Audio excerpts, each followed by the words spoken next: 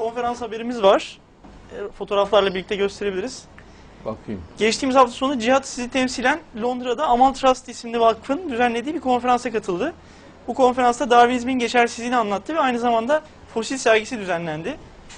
Üniversite öğrencileri ve akademisyenlerin de katıldığı konferansta katılımcılar konferansı beğeni ve ilgiyle takip ettiler. Size selam ve sevgilerini ilettiler inşallah. Güzel. Channel S isimli TV kanalı da konferansın çekimini yaptı ve yayınlarında geniş yer, ayırdı. Kardeşim şimdi biz dünya çapında Darwinizmi ezince ilimle, irfanla Müslümanların eli her yerde güçlendi. Bir kere göğüslerini gere gere geziyorlar. Solun başı yere düştü. Bütün Avrupa'da sol ezilmiş oldu. Bakın bütün Avrupa'daki sol partiler sol gücünü kaybetti.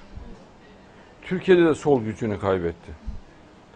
Ve sağ tırmanışa geçti. Çünkü sağlam bir felsefi taban oluşturduk. Yani AK Parti'nin iktidara gelmesinde de Darwinizmin yıkılmasının çok büyük etkisi var. Yani yüzde seksen, yüzde doksanlık etkisi var. Çünkü e, felsefesini sağlam oturtmuş olduk. Yoksa Darwinizm ayaktayken AK Parti'nin iktidar olması mümkün değildi. Avrupa'da da sol fırtına gibi eserdi eğer Darwinizm güçlü olsaydı. Ezer geçerdi dünyanın her tarafında. Ama şu an sol bütün dünyada can çekişiyor. Bunun sebebi Darwinizmin yıkılmasıdır. Çünkü solun dinini yok ettik. İmanını yok ettik solun. Yani Darwinizme olan imanını yok ettik. İlimle, irfanla. Doğu Perinçek direkt söylemişti hocam.